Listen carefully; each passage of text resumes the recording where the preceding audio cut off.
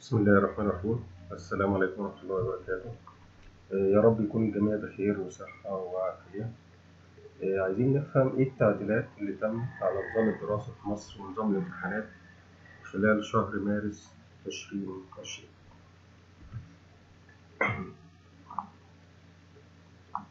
آه، في البداية أنا اسمي أحمد عبد الفتاح. أنا مهندس برمجيات. في الحقيقة أنا بكلم حضراتكم كولي أمر. أنا عندي عدد من الأبناء في مراحل التعليم المختلفة وفي الحقيقة برضه أنا لاحظت خلال الأيام اللي فاتت إن هم ولادي يعني تايهين ومتلخبطين ومش فاهمين إيه اللي بيحصل حواليهم. فأنا قررت إن أنا أعمل بحث عن التعديلات اللي تمت الفترة اللي فاتت وفي الحقيقة أنا لقيت معلومات كتيرة جدا متداولة سواء على الفيسبوك أو على الواتساب على جروبات على حاجات كتير جدا بعضها صح بعضها إشاعات بعضها غلط تماما بعضها مش يعني مش موجود أساسا ليس له أي أساس في مصر. ففي الحقيقة أنا عملت البحث ده عشان أفهم ولادي وأشرح لهم إيه التعديلات اللي تمت لكن في الحقيقة أنا يعني بذلت مجهود كبير في البحث ده فحبيت إن أنا أشاركه مع أكبر عدد بحيث إن لو حد لسه مش عارف أو مش متابع أو ما عندوش وقت يبحث يستفيد يستفيد من البحث. بداية إحنا سمعنا إشاعات كتيرة جدا خلال الكام يوم اللي فاتوا الترم الثاني اتلغى الترم الأول هي نتيجة نتيجة الترم الأول هي نفسها نتيجة آخر السنة. مفيش دراسة خلاص والكل عدى والكل نجح أو في أجزاء كتيرة اتحذفت من المنهج وهكذا. في إشاعات كتيرة سمعناها. خلينا نبتدي. إيه الأحداث اللي تمت خلال شهر مارس؟ طبعا فيروس كورونا ابتدى معانا في فبراير ومارس. يعني يا رب يحفظ أولادنا جميعا ويحفظنا يوم 14 مارس تم تعليق الدراسة لمدة أسبوعين. إحنا دلوقتي في الأسبوع الثاني وبعدين يوم 19 مارس وزير التربية والتعليم عرض علينا تعديلات كتيرة جدا على نظام الدراسة ونظام الامتحان. هنستعرض دلوقتي مع حضراتكم أهم التعديلات اللي تمت على المراحل المختلفة. وفي الحقيقة أنا في البرزنتيشن دي أنا تعمدت إن يكون المصدر بتاعي هو مصدر وحيد. مصدر وحيد عشان أتفادى أي إشاعة أو أي معلومة غير صحيحة. المصدر ده هو وزير التعليم وزير التربية والتعليم المصري زاد. تمام؟ هنبتدي بمرحلة رياض الأطفال وأولى وتانية ابتدائي. كي جي 1 كي جي 2 أولى ابتدائي تانية ابتدائي دول أربع سنين. ودول قبل موضوع فيروس كورونا هم already كانوا ماشيين على نظام تعليم جديد اسمه نظام التعليم الجديد 2 والنظام ده ما فيهوش أي امتحانات أساسا. إيه الجديد بالنسبة حاليا اللي تم على المرحلة دي؟ ما فيش أي جديد. هم مكملين بدون امتحانات لكن في الحقيقة أولياء الأمور هيتعبوا شوية عشان يستكملوا المنهج في البيت للاولاد عن طريق حاجة اسمها المكتبة الرقمية وحاجة اسمها المنصة الإلكترونية هنتعرف عليهم بعد شوية. خلينا نسمع وزير التعليم بيقول إيه عن المرحله نبتدي من الأول للآخر. السنوات من أول رياض الأطفال من أول كي جي 1 لحد تانية ابتدائي اللي هم بيخضعوا لنظام التعليم الجديد. نظام التعليم الجديد ما كانش فيه امتحانات في التصميم بتاعه وبالتالي سيبقى الأمر كما عليه. المجموعة دي الأربع سنوات دول أولياء الأمور بندعوهم إن هم يتأكدوا إن ولادهم كملوا المنهج في البيت باستخدام الأدوات المتاحة على المكتبة وعلى المنصة اللي هتكون متاحة ليهم ويبقى ليهم دور كبير في المتابعة معاهم الكتب ومعاهم في دليل للمعلم موجود وفي دليل لولي الأمر بعض الشركات موفراه. وفي نفس الوقت المكتبة الرقمية متوفرة فندعو الأهالي إن هم يتأكدوا إن اولادهم خلصوا المنهج ده. طيب قبل ما أكمل أنا بس عايز أركز على نقطة مهمة. أنا بعرض الوضع الحالي بشرح الوضع الحالي. مش بقول إيه مميزاته أو إيه عيوبه مش بنتقد يعني أنا الفيديو ده مش الهدف منه إن أنا أعرض المميزات والعيوب أكتر منه هدفي إن إحنا نفهم الوضع الحالي واللي هو بقى أمر واقع وإن اولادنا هيلتزموا بيه أو هيمتحنوا بناء عليه. فمش الهدف خالص إن أنا أبين إيه نقط الضعف أو نقط القوة في في التعديلات. اكتسب. طيب بالنسبة لسنوات النقل من ثالثه ابتدائي لحد ثانية إعدادي من ثالثه ابتدائي لثانيه إعدادي مفيش امتحانات مفيش امتحانات يعني ال ال ال الوزارة مش هتقيم الأولاد بناء على الامتحانات بس هيقيموهم بناء على حاجة ثانية اللي هي أبحاث أو مشاريع صغيرة هيتعمل بحث أو مشروع صغير لكل مادة لكل مادة مفيش حاجة اتحذفت من المنهج خالص آه، الطلاب ممكن يبدأوا في الأبحاث دي من أول من آخر شهر مارس أول شهر إبريل ومعاهم لحد نهاية السنة السنة الدراسية. آه، هيتعمل حاجة اسمها المنصة الإلكترونية هيتم الإعلان عنها وعن تفاصيل التسجيل عليها أو الدخول عليها آخر شهر مارس المفروض ودي اللي هيتواصل عليها الطلاب مع المدرسين وهيتم من خلالها معرفة الأبحاث اللي مطلوبة منهم وإزاي يقدموها على على المنصة. المدرس بتاع الفصل بتاع كل مادة هو اللي مسؤول عن البحث وعن آه، تصحيحه بعد كده.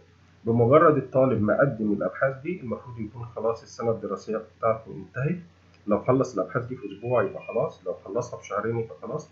وفي معلومة برضو إن هو لو ملحقش يخلصها لحد آخر شهر خمسة إن هو ممكن يخلصها في الأسبوعين آه، اللي اللي قبل بداية السنة الجديدة السنة الجاية إن شاء الله. خلينا نسمع وزير التعليم قال إيه بالنسبة للسنوات النقل. هي من تالتة ابتدائي لتانية إعدادي. هنعمل معاها حاجة أول مرة نعملها وأعتقد إنها آه، هتكون مرضية للأولاد آم، والأولياء الأمور آه، بعيدا عن الامتحانات التقليدية. إحنا عاوزين نكمل المنهج ونقيمهم وفي نفس الوقت ما نرتبطش بميعاد امتحان نضطر ننزل فيه الولاد من البيت.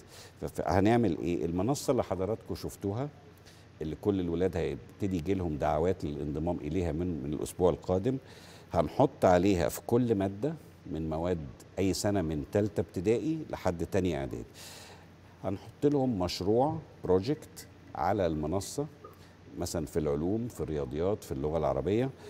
آه، متاح لكل طالب وطالبة إنه يحل المشروع لوحده أو مع مجموعة من زملائه لحد مجموعة حجمها لا يزيد عن خمسة فده اختيار الولاد هتعمله. يا إما أعمل المشروع أحله لوحدي أو أحله مع زملائي مشروع جماعي. المشروع بعد ما نحله تحت إشراف المعلم باستخدام المنصة هنقدم المشروع بتاعنا وكده يبقى إحنا خلصنا المطلوب مننا في المادة دي. إحنا عندنا من النهارده من 19 مارس آه، 19 مارس إلى نهاية آخر يوم في الامتحانات اللي كان في الخريطة الزمنية اللي هو تقريبا في نص مايو. فإحنا كده عندنا شهرين. والله اللي شاطر وهيخلص المشروع في أسبوع يبقى هو خلص. اللي هيخلصه في أسبوعين برضه خلص. اللي محتاج الشهرين يستعمله هيحلوا إزاي؟ في منصة فيها حوار زي ما قلنا وفيها تواصل بيننا وبين المعلم بيوجهنا. في نفس الوقت في المكتبة الإلكترونية اللي إحنا ممكن نروح لها ونجيب منها حلول البروجكت اللي إحنا هنحطه هتكون جوه المكتبة بتاعت بنك المعرفة.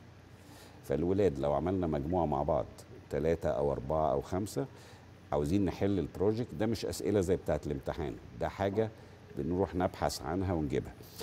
آه، ده بالنسبة لنا كافي لإنهاء العام الدراسي وتقييم الطلاب. فده كل المطلوب من غير بقى القلق بتاع الامتحانات والحفظ والكلام ده هنغيره خالص. كده إحنا بنتعلم حاجات كمان رب ضارة نافعة الظروف اللي إحنا فيها خلتنا نعمل ده. مش بس كده إحنا كده نتعلم العمل الجماعي نتعلم التعلم الذاتي نتعلم روح الفريق إزاي نبحث وازاي نكتب المرجع اللي جبنا منه الحل. ففرصة نستكشف الحاجات اللي في المكتبة ونحل البروجكت لو لو أنتم مستعجلين نخلصه في أول أسبوع 10 أيام كده بالنسبة لكم تبقى ال- المطلوب خلص. فأعتقد ده هيبقى شيء أفضل بحيث إن إحنا حتى في الوزارة قررنا إنه بعد ما إن شاء الله الأزمة دي تعدي آه، في المستقبل من سبتمبر 20 إحنا هنستعيد في جميع سنوات النقل عن الامتحانات التقليدية بفكرة المشروعات. فمن هنا ورايح مش هيبقى فيه في سنوات النقل امتحانات تقليدية بلجان بمراقبين هيبقى عندكم مشروعات واحد أو أكتر وده اللي هنقيم بيه الطالب نجاحه من سنة لسنة. اعتقد ده مسلي أكتر وممتع أكتر وهيعلمنا مهارات جديدة. وكده المزايا بتاعة التعليم الجديد بقت متاحة لمن كان محروم منها اللي هو كان في ثالثه ابتدائي لحد تانية إعدادي. أعتقد إن ده شيء أفضل كتير من ال- الأزمة بتاعت الامتحانات التقليدية. هي من ثالثه طيب هن... هنتنقل دلوقتي للشهادات العامة تالتة إعدادي تالتة ثانوي والدبلومات الفنية.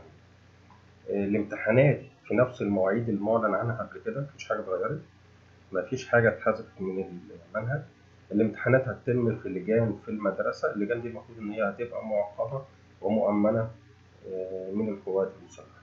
خلينا نسمع الوزير قال إيه بالنسبة للشهادات العامة. آه، الشهادات العامة اللي هي الإعدادية والثانوية لحد التوقيت اللي إحنا فيه بالظروف بتاعة آه، كورونا اللي نعرفها النهاردة وهي والدبلومات هتتعمل في المواعيد المعلن عنها في لجان الوحيدين المجموعات الوحيدة اللي هي الإعدادية والثانوية والدبلومات اللي هنعمل لهم تأمين خاص في اللجان وتعقيم خاص بالتعاون مع مؤسسات الدولة كلها وزارة الصحة والقوات المسلحة تأمين قبل الامتحان وبعد الامتحان وأثناء الامتحان بحيث نضمن ونحط مسافات واسعة جدا بين الطلبة بحيث يعني ال ال الامتحانات دي تعدي على خير. آه، فضل طيب هنتنقل بعد كده لأولى ثانوي وتانية ثانوي. أولى ثانوي وتانية ثانوي هما ال- ال- السنتين أو الناس الوحيدة اللي معاها تابلت حاليا. آه، الناس دي هتمتحن كان المفروض عندها امتحان تجريبي آه، بكرة يوم 22 مارس آه، تم تأجيله ليوم 5 إبريل آه، الامتحان التجريبي هيتم من البيت على التابلت وامتحان آخر السنة برضو هيتم من البيت ومن على التابلت آه، لازم الطلبة بتوع أولى ثانوي وتانية ثانوي يكملوا آه، مذاكرة الأجزاء المتبقية من المنهج من خلال برضو المكتبة الرقمية والمنصة الإلكترونية اللي هنتكلم عنهم بعد شوية. خلينا نشوف سيادة الوزير قال أولى كده أولى. وثانية ثانوي أولى وثانية ثانوي طبعا آه، طلبة يتمتعوا بميزة إن هم معاهم أجهزة التابلت وإن هم معاهم SIM cards هنوزعها على كل طلبة أولى ثانوي الأسبوع الجاي من كل شركات المحمول و آه، لهاتين السنتين الامتحان التجريبي اللي كان معلن عنه في 22 مارس هن- هننقله إلى 5 إبريل عشان يبقى بره الأسبوعين بتوع الحظر وهيتعمل من البيت. كل واحد من الطلبة هيبقى معاه الجهاز هيعمله من بيته باستخدام السيم كارد بدون الاحتياج للذهاب إلى المدرسة وده امتحان بدون درجات. بدون درجات إحنا عاملينه علشان اللي داخل أولى ثانوي يتأقلم على فكرة آه، إن الامتحان بيجي على التابلت ويبقى مرتاح له. فكرة الوقت وفكرة طبيعة الأسئلة. هنعمل واحد زيه لتانية ثانوي عشان هم شافوا التابلت قبل كده بس كنوع من إن إحنا بنتدرب أكتر على طبيعة الأسئلة. بعد الامتحان مش هنصلحه ولكن هنديكوا الإجابة بعدها تاني يوم وهنسمح في يوم الامتحان بمثلا عشر ساعات تقدر تخش فيهم على الامتحان في الوقت اللي مريح بالنسبة للطالب. ده في أولى ثانوي في الامتحان أولى وتانية في الامتحان التجريبي. في آخر السنة آخر الترم الامتحان النهائي هيكون برضو على التابلت وبرضو من البيت. بس ده هنصلحه آه، إلكترونيا وهيبقى بدرجات مجموعها مع الترم الأولاني هو درجة النجاح للصف الأعلى. آم، طلاب الخدمات استلموا كده بالنسبة لطلاب الخدمات الامتحان هيبقى على التابلت برضه زي الطلبة النظاميين زي الطلبة النظاميين تابلت. وبالتالي هيمتحنوا الكترونيا زي زملائهم النظاميين. آه، يبقى آه، طيب هنتنقل لأبنائنا اللي هم ذوي الاحتياجات الخاصة. الامتحان هي- هيبقى عن طريق مشروعات يعني زي بروجيكتس أو أبحاث زي سنوات النقل بالظبط. كل ابنائنا في الخارج في طلبة في أولى ثانوي وتانية ثانوي من ذوي الاحتياجات الخاصة. طلبة من ذوي الاحتياجات الخاصة كانوا بيمتحنوا ورقيا. مش هنقدر نمتحنهم ورقيا لظروف ال- ال- الحظر اللي إحنا فيه فهنمتحنهم عن طريق مشروعات زي ما هنعمل مع سنوات النقل. آه، أبنائنا في الخارج؟ طيب هنتنقل لأبنائنا في الخارج الامتحان نفس الكلام هيبقى عن طريق بروجيكتس أو مشروعات أو أبحاث آه، زي سنوات النقل. مشروعات زي ما هنعمل مع سنوات النقل. أبنائنا في الخارج آه، قررنا أنه عشان الدول اللي هم فيها تختلف في درجات الحظر وبالتالي ما نقدرش نمارس امتحانات على الأرض في لجان في دول فيها قرارات سيادية معمولة بمنع التجمعات. فهنستخدم المنصة اللي وريناها لحضراتكم في هذه الدول زي ما هنستخدمها في مصر ودي قيمة التكنولوجي. زي ما عاملين فصل افتراضي في مصر هنعمل فصل في السعودية وفي الكويت وفي إيطاليا وكده ونخلي الولاد ولادنا في الخارج تمتحن عن طريق نظام المشروعات على هذه المنصة زي سنوات النقل في مصر. وبالتالي ما يضيعش عليهم السنة الدراسية وأهاليهم يقدروا يخططوا للمستقبل بناء على هذا. إذا الولاد عملوه في زمن أقصر هيكونوا خلصوا السنة بدري ويقدروا يبقى عندهم حرية حركة. فالمحتوى ال- آه، طبعا أنا أنا مش فاهم هنا سياده الوزير بيتكلم عن الناس ابنائنا في الخارج اللي هم في سنوات النقل ولا في الشهادات العامة ولا الاثنين مع بعض. يعني في الحقيقة دي مش واضحة بالنسبة لي. طيب كان في بعض الإشاعات إن اتحذف جزء أو أجزاء من المنهج خلينا نشوف سيادة الوزير عندهم إيه. حرية حركة. فالمحتوى المسؤولين عنه في جميع السنوات اللي قلتها هو المحتوى بتاع السنة كلها مفيش منه حذف ولكن هنقيمه عن طريق المشروعات مش عن طريق الامتحانات النظامية. طيب طيب خلينا نقول ملخص سريع كده لكل اللي إحنا قلناه قبل كده السنوات المختلفة هيتم الدراسة إزاي والامتحانات؟ اللي بيسمعونا. ممكن يكون اشت- اشتبك عليهم الأمر اللي بياخدوا تعليم اتنين من KG 1 ل grade 2 ما عندهمش امتحانات. هيكملوا بإشراف منزلي واستخدام المنصه من سنوات النقل من ثلاثة لتانية إعدادي هتمتحن على المنصة من غير الذهاب إلى المدرسة باستخدام المشروعات اللي متاح ليهم شهرين يخلصوا المشاريع فيهم. بإشراف معلم الفصل على هذه المنصة.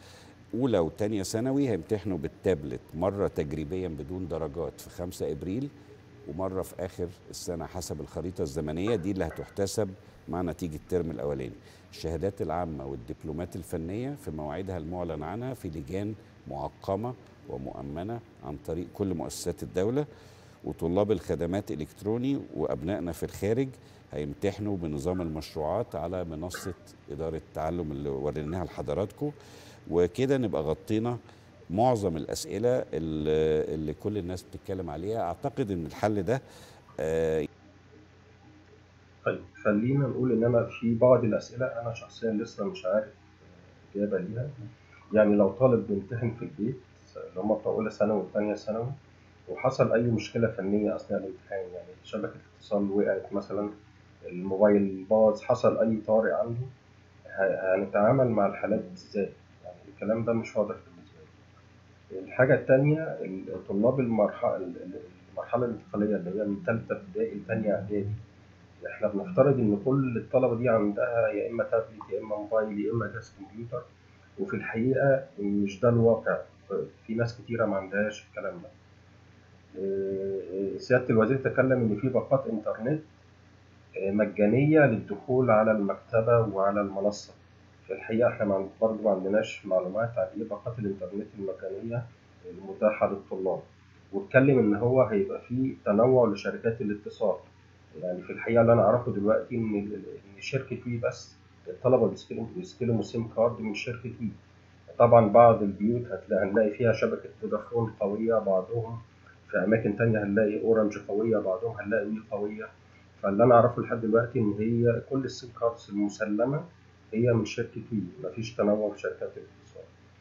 آه، للأسف بعض المواقع زي بنك المعرفة مثلا آه، هنلاقيه بطيء جدا. آه، بعض اللينكات جوه ال- المكتبة الإلكترونية هنلاقيها يا إما مش شغالة هنلاقي في فيديو- فيديوهات مش مش موجودة أو مش شغالة. فعايزين نعرف الكلام ده برضه هيظبط معانا. إيه فده سريعا المعلومات المتاحة حاليا عن التعديلات اللي تمت. آه، لو لاحظنا في الفيديوهات إن ال- سيادة الوزير اتكلم عن المكتبة الرقمية والمنصة الإلكترونية. آه، دي دي العناوين بتاعه بنك المعرفة EKB المكتبة الرقمية والمنصة الإلكترونية.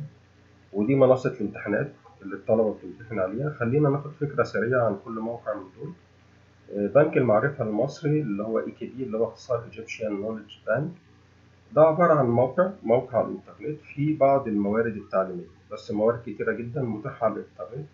طبعا ده يعني مش مش خاص بالطلبة ده خاص بناس كتيرة جدا. يعني الموقع مفتوح لكافة المصريين سواء طلبة سواء باحثين آه، سواء ناس عادية من كافة الأعمار. تمام؟ هنلاقي جزء منه هنلاقي فيه ناشرين كتير جدا من على مستوى العالم بينشروا بجانب وزارة التربية والتعليم وهنلاقي إن في جزء خاص بالمراحل الابتدائية والإعدادية والثانوي. ال- الجزء الثاني المهم جدا بالنسبة لنا اللي هي المكتبة الرقمية اللي هم ال- ال- الوزارة بتفترض إن إحنا هنعتمد عليها أو الطلبة هتعتمد عليها في المذاكرة. فخلينا نبص بصة على المكتبة الرقمية طبعا دي الأول دي بنك المعرفة لو إحنا عايزين ده شكله ده شكل بنك المعرفة. ممكن من هنا نكليك هنا على ذاكر الآن ندخل على المكتبة الرقمية.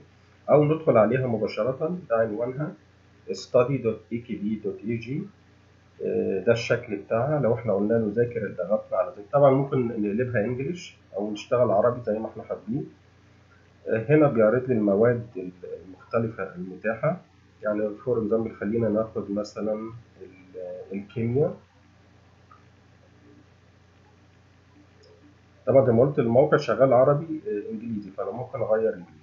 هنلاحظ على اليمين هنا إن الكيمياء متاحة للصف الأول الثانوي والثاني والسادس الثانوي. فلازم من الأول لو أنا طالب في أولى ثانوي يبقى أختار آه، أولى ثانوي عشان ما يجيبليش كل حاجة متاحة للثلاث سنين. آه، يبقى أنا الحاجات اللي متاحة قدامي دي هي الحاجات المتاحة أو الخاصة بأولى ثانوي. تمام؟ آه، لو أنا ضغطت هنلاحظ هنا إن على الشمال هنا في ايكون يعني مثلا علامة النسر دي معناها وزارة ال- التعليم المصرية. لو نزلنا تحت هنلاقي ناشرين تانيين خالص من بره مصر حاطين برضه فيديوهات ومحتوى آه، يعني زيادة شوية عشان لو حد عايز يتوسع من الطلب. طبعا ممكن أختار من على اليمين هنا الناشر اللي أنا محتاج اللي أنا مهتم إن أنا أسمعه. يعني مثلا لو رحنا على حاجة زي الذرة والجسيمات الأولية. هنلاقي إن هو هنا جايب لي كتاب الوزارة. هنلاقي هنا هو هنا جايب لي كتاب الوزارة أو الدرس اللي موجود في كتاب الوزارة الخاص بالموضوع ده. آه، لو ضغطت على إنجليش هيجيب لي ولادنا اللي هم بيدرسوا لغات هيجيب لي نفس الموضوع بس بالكتاب الايه بالكتاب في في لينكات تانية هنلاقي إن هم جايبين مثلا فيديوهات يعني مثلا لو دخلنا على ده آه، على طاقة الرابط مع- على أي لينك تاني. ده ممكن نلاقي برضه حاجات text وحاجات آه، videos تعالى ناخد مثال تاني القوة النووية مثلا. هنلاقي إن هنا في فيديو لو أنا ضغطت عليه ابدأ.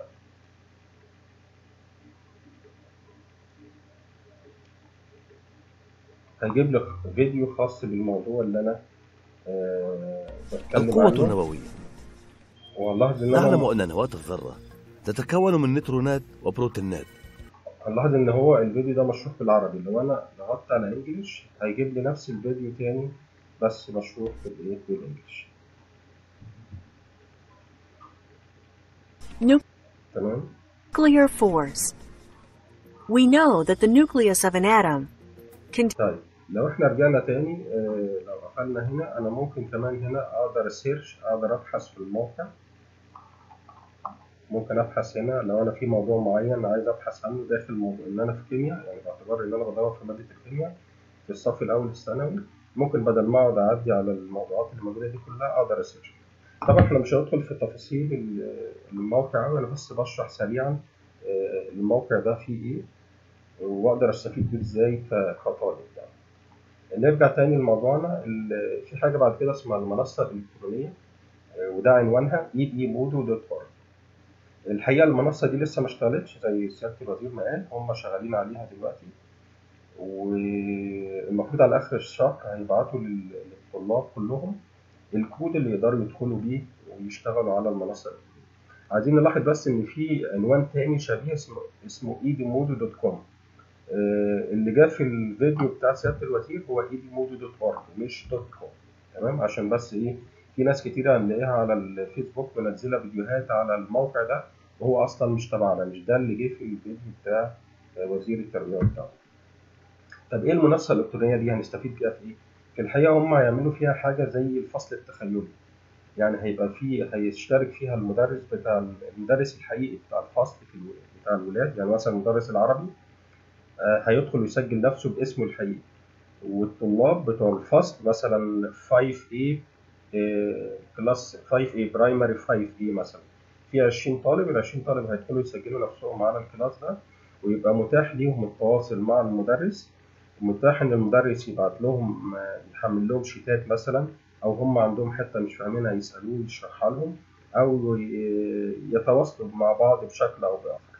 وعلى نفس الفصل التخيلي على المنصة الإلكترونية ال- المدرس الحصة مدرس المادة هيبعت للطلبة البحث الخاص بال- بالمادة دي لكل طالب والطالب هيخلص البحث ويحمله على نفس المنصة الإلكترونية. تمام؟ طبعا للأسف المنصة الإلكترونية لسه ما اشتغلتش لسه ما اشتغلتش لحد دلوقتي. فأي ح- أي حد هتلاقيه باعت على الفيس إزاي تعمل بحث وإزاي تقدمه تعرف إن الكلام ده كله آه، غير صحيح ولسه لسه أصلا ما اشتغلتش طيب يبقى إحنا دلوقتي عشان نلخص وسائل التعلم أو التعليم عن بعد عندنا ثلاث حاجات. القنوات التعليمية اللي هي التلفزيونية دي الترددات بتاعتها للمراحل المختلفة. والمكتبة الرقمية دي اللي فيها الكتب بتاعت الوزارة وفيها فيديوهات وشرح للمواضيع المختلفة. وفي كمان المنصة الإلكترونية دي عشان نتواصل الطالب يتواصل مع المدرس الخاص بيه في المدرسة. وعشان يستلم البحث اللي هو مطلوب منه وعشان يقدم يقدم البحث. فدي وسائل التعليم المختلفة المتاحة حاليا. زي ما قلت قبل كده أنا المصدر بتاعي الوحيد في في, في هذا الفيديو هو الفيديو الخاص أو الكلام الصادر عن وزير التربية والتعليم آه، شخصيا. أتمنى إن أنا أكون وضحت الموضوع لحضراتكم. ولو في أي أسئلة ممكن آه، حضراتكم تسيبوها تحت الفيديو.